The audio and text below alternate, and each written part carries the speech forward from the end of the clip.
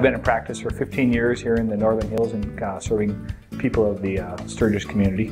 Uh, we're treating patients from neck pain, back pain, which are common occurrences at a chiropractic office, all the way up to seeing uh, children with ear infections, people with digestive problems. Many patients have been um, shopping around looking for help, they've been seeing neurologists or orthopedists or spine surgeons, and helps us down the street here.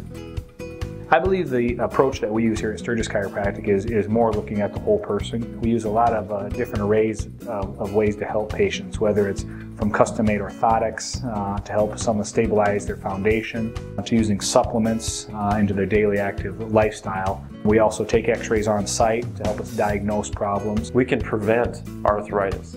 We can prevent our health from deteriorating so quickly. We've been treating the people of the Sturgis community for you know over 15 years at this clinic, and uh, uh, we continue to hopefully get people healthy and, and keep them active in their lifestyles.